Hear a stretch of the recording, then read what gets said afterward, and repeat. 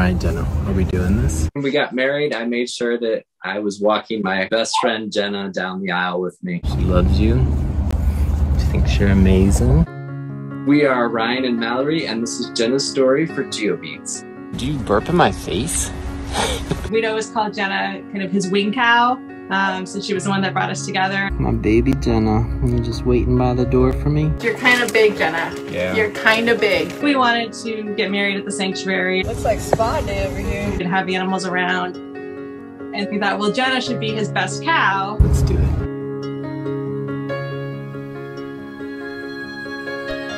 I had two of our chickens walk down the aisle too When a 1,400 pound cow is walking down the aisle with horns. with horns, it's a little intimidating to people that don't live with her, or even It's people who intimidating to people, her. yeah. And so, but I, I was convinced she would be great, and she did great. Pigs actually were the ones that were the only problem. They just rushed up there and were trying to get the cows snacks.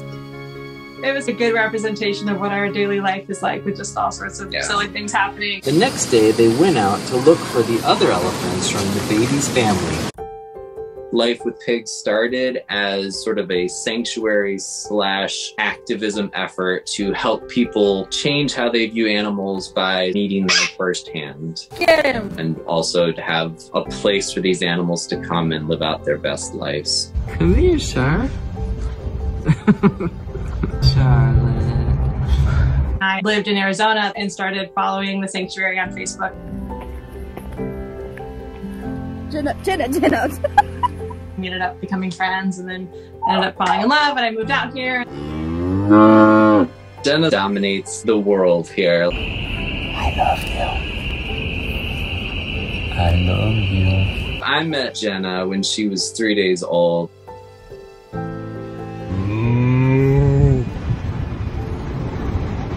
Will you join me? Thank you. Jenna was born on a large scale dairy farm, but she had a twin brother. And so, for whatever reason, when there's a, a female and a male twin pair, the female will end up having some of the boy hormone, and so they'll be infertile. And if they're infertile, they're not useful. Jenna had actually been spray painted, marked to be sort of removed from the herd. I love you, kiddo. Fortunately, the daughter of the dairy farmer, whose name was Jenna, convinced her dad to let her find home. And she ended up reaching out to a friend of ours. And so I went down to Durham, North Carolina in a mall. And that pretty much started like a nonstop sort of bonding best friend situation. You're like a brick.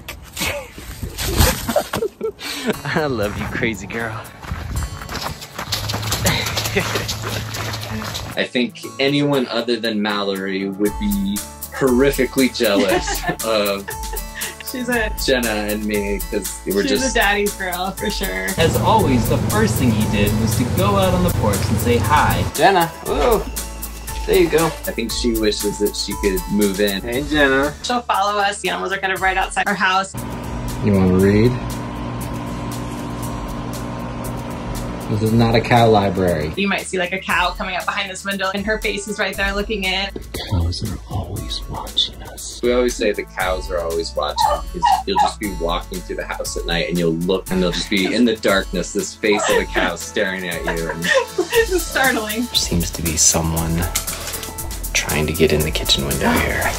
They're right behind us. Yeah, they're right behind us. They can see us. Uh-oh. I'm just gonna stand right there and wait for him. If he doesn't go out and give Jenna her morning hug, she'll come and she'll move at the window and demand that he comes out and gives her attention.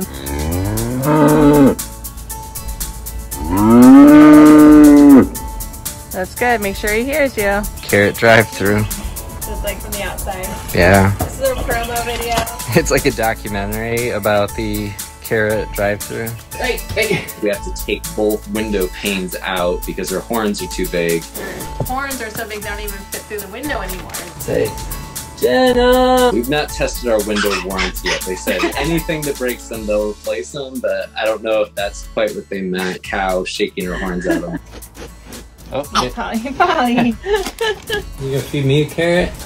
One of the things I was told first about cows is never grab them by their head or their horns because that's like fighting to them. And Jenna, that's like her favorite thing. Put her head up against me and go right into hugging. I've got a knucklehead for a best friend named Jenna. So she's very much like a human centric cow. I think she is pretty certain she's like a human that just hangs out with the cows. He'll be back, Jenna. Oh, ah. He'll be back. I spent most nights sleeping in the barn with her and like just hanging out with her all day. And we'd put a blanket over us at night and like sleep in her barn. I'll be your pillow, Jenna. Anytime.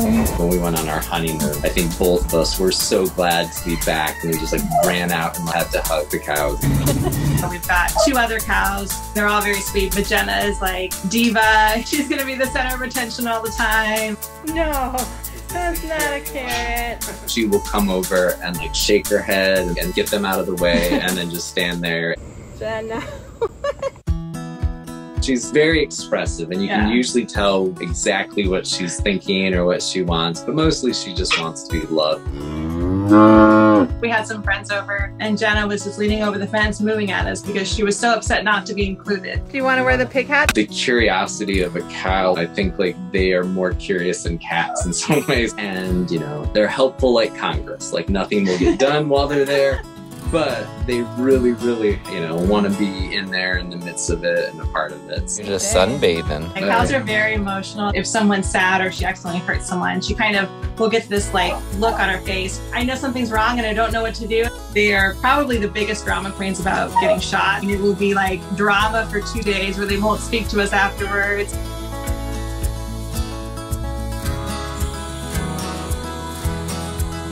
Quincy was one of four turkeys when I first started the sanctuary, rescued from basically a factory farm situation. Now he's sort of the yard guard and he's calling for his ladies. he doesn't like to be separated from his his girlfriends. He keeps a close eye on them.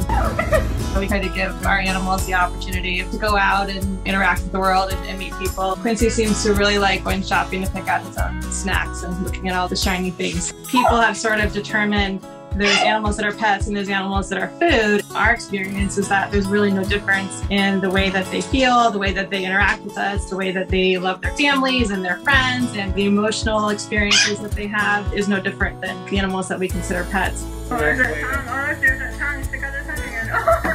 My hope is that people can see the idea of like do unto others as you'd have done to you applies to everyone, not just humans, because it is somewhat just luck that we're not in their shoes. Genesis is the center of our universe. Oh. You're gonna take it right away from me. We're gonna have to do a lot of vacuuming after this. She has to outlive me because there's no way I could like imagine a world without Jenna. Sadness overwhelmed our little teddy bear. Is it possible that Maru left without saying goodbye? Oh, oh, here's a dine-in customer. The dine-in customer. And sometimes with Jenna, you just have to be prepared to be a headrest. Come here, sir. You're just gonna get a a. we love you, kiddo. Love you, Jenna.